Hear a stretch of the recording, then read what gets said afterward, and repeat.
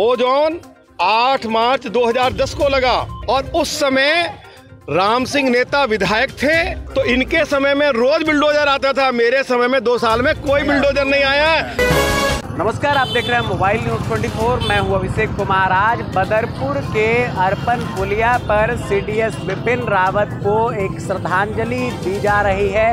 Park के रूप में उनके नाम से इस पार्क को रखने की सौगात की जा रही है। दिल्ली नगर निगम का चुनाव नज़दीक है और ऐसे में नेता प्रतिपक्ष और यहाँ के विधायक रामवीर विधुरी जी कुछ ही समय में यहाँ पर पहुंचकर विधिवत इसका उद्घाटन करेंगे। और यहाँ देखिए, महिलाओं की फौज, भाजपा की जो महिला कार्यकर्ता है, वो एकत्रित है। हम बातचीत करेंगे। इसमें हमारे साथ उषा सिंह जी हैं। जो प्रदेश कार्यकारिणी सदस्य में हैं और इनका बोलबाला इस बार निगम चुनाव को लेकर भी जनता के बीच पहली पसंद महिला उम्मीदवार के तौर पर इनको देखा जा रहा है। बहुत बहुत स्वागत आपका। सबसे पहले मैं ये जानने की कोशिश करूँगा कि ये जो कार्यक्रम है, इस कार्यक्रम पे और जनरल बिपिन रावत जी को के नाम पे ये पार्क का नाम रखना, क्या ये चुनावी रणनीति है या वाकई में भाजपा और आप लोग इस पार्क का नाम यही रखना चाहते थे ये देशभक्ति। बहुत बहुत धन्यवाद आपका अभिषेक जी। और जो आपने मुझे मोबाइल न्यूज़ चैनल पर बुलाया, इसके लिए आपका बहुत बहुत धन्यवाद। ये हमारे विधायक श्री रामवीर सिंह विदूरी जी। उनकी ये महानता है कि जो हमारे क्षेत्र में वो ऐसे ऐसे काम कर रहे हैं कि जो आज तक किसी ने किया भी नहीं है। इतनी ऐतिहासिक, हर काम उनका एक ऐतिहासिक ऐतिहासिक काम होता है। इसके लिए मैं रामवीर विदूरी सिंह का बहुत बहुत धन्यवाद। बिल्कुल, मैडम जी, मैं ये भी जानना चाहूँगा, निगम का चुनाव नज़दीक है और ये सीट आपका परिसीमन में महिला रिज़र्व सीट हो गया है। ऐसी स्थिति में उषा सिंह की नीतियाँ क्या है और उषा सिंह किस तरह से तैयारियों में जुटी हुई है? पार्टी का भरोसा किस और जाने वाला है? जनता तो पसंद कर रही है मैं पार्टी पार्टी पॉलिटिक्स को लेके, पार्टी पॉलिटिक्स को लेके जो उसके नियम होता है, जो हमें पार्टी जो आदेश देती है, मैं उस नियम पे चलते हुए क्षेत्र में मैं काम कर रही हूँ और क्षेत्र की जनता अगर मुझे पसंद करती है और पार्टी शीर्ष नेतृत्व मुझे टिकट देती है पार्टी का सिंबल देती है मैं चुनाव लड़के पार्टी टिकट टिकट ले आके और सीट निकाल के पार्टी के झोली में डालूँगी ये मेरी समझ यहाँ से कुछ दूरी खड्डा कॉलोनी है और बड़ी तादाद में वहाँ पर माइनॉरिटीज़ लोग रहते हैं मुस्लिम समुदाय के लोग रहते हैं। कैसे सबका साथ और सबका विकास सबका सम्मान होगा? मैं बता रही हूँ मैं जो बता रही हूँ कि परसों जो हमने शराब के आबकारी नीति के विरोध में हमने जो बैठक जगह जगह जब लगाए थे, टेबल लगाए थे, वहाँ पे हमें मुस्लिम महिलाएँ और छात्राएँ, स्कूल की लड़कियाँ, हमें उनका ज़्यादा समर्थन मिला।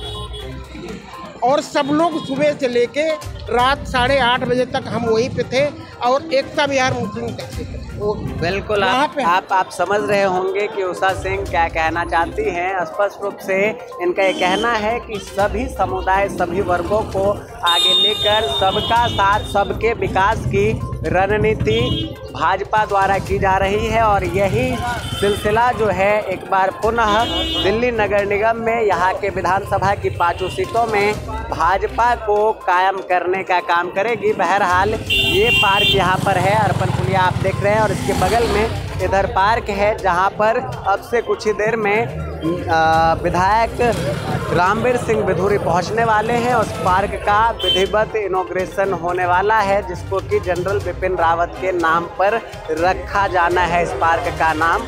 और यहाँ पर थोड़ी ही देर में वो पहुँचकर जो कार्यकर्ता है उनको भी और यहाँ के क्षेत्रवासियों को भी ये बड़ी सौगात देने वाले हैं धूरी साहब आज जो ये जनरल बिपिन रावत के नाम पर आपने सड़क का नाम रखा है पार्क का उद्घाटन हुआ है पार्क का नाम क्या कुछ कहना चाहेंगे क्या संदेश है देखिए जनरल बिपिन रावत जी के नाम पर अर्पण बिहार से लेके बसंतपुर तक जो हाल ही में सड़क बनाई गई है हम्म। यह सड़क जनरल बिपिन रावत जी के नाम पर रखी गई है और जो पार्क हम विकसित कर रहे हैं यह पार्क भी जनरल बिपिन रावत जी के नाम पर बनाया जा रहा है। मैं उनके चरणों में नमन करता हूँ। सर दिल्ली में नगर निगम का चुनाव है आप नेता प्रतिपक्ष भी हैं और इस क्षेत्र के विधायक भी हैं।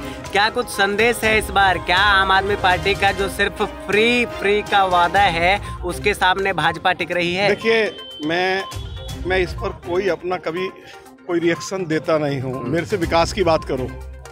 मैं दो साल से इस क्षेत्र की नुमाइंदगी कर रहा हूँ।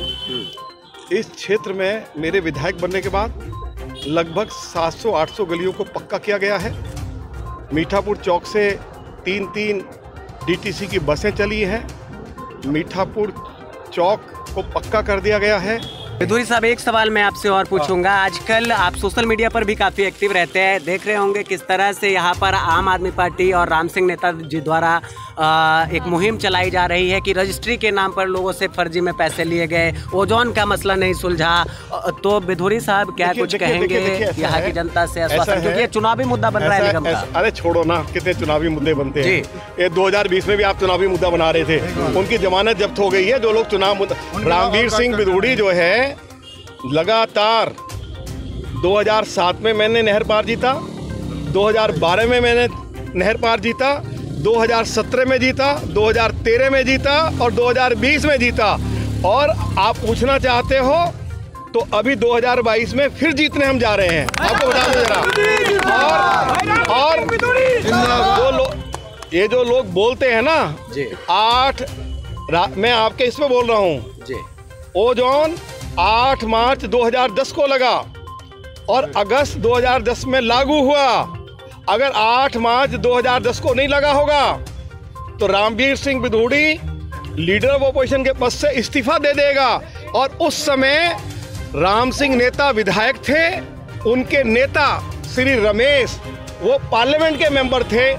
दिल्ली में भी कांग्रेस की सरकार थी और केंद्र में भी कांग्रेस की सरकार थी, क्योंकि ये लोग ज़मीन बेच रहे थे फरीदाबाद जिला में कौन कौन सी कॉलोनियाँ हैं पास में? सरस्वती विहार और सब तो जब रामवीर सिंह बिधूड़ी ने 2008 तक इस क्षेत्र की सारी गलियों को सीमेंटेड किया एरिया को इलेक्ट्रीफाइड किया गंगा जल लेकर आया तो उनका धंधा वहाँ बंद हो गया था।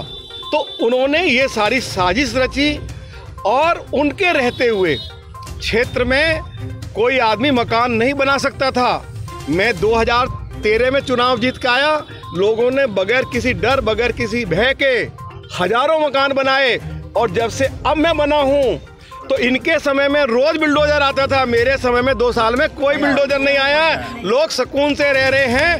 इसलिए आपने ये मेरे से सवाल पूछ लिया है तो मैं आपको जवाब दे रहा हूँ। मैं कभी किसी की, जो जो लोग मेरे विरोध में बोलते हैं, मैं उनकी कभी निंदा नहीं करता हूँ, ना मैं उनकी कभी चर्चा करता हूँ। आपने कर दी है तो मैंने उसका जवाब बहुत पॉजिटिव वे में आपको दे दिया बिल्कुल तो रामवीर सिंह बिधूरी जी हमारे साथ बने हुए थे और स्पष्ट रूप से आज इन्होंने खुलकर बोलने का काम किया है यहाँ के विपक्ष पर और ये स्पष्ट रूप से कह रहे हैं कि हम विकास करते हैं, किसी के झूठे इरादे और झूठे किसी पर आरोप नहीं लगाते, विकास करना प्राथमिकता है और उस विकास की राह पर पुनः बदरपुर की जनता जाने वाली है और यहाँ के पाँचों काउंसलर जीतेंगे। कैमरा पर्सन दिलीप कुमार के साथ मैं अभिषेक कुमार।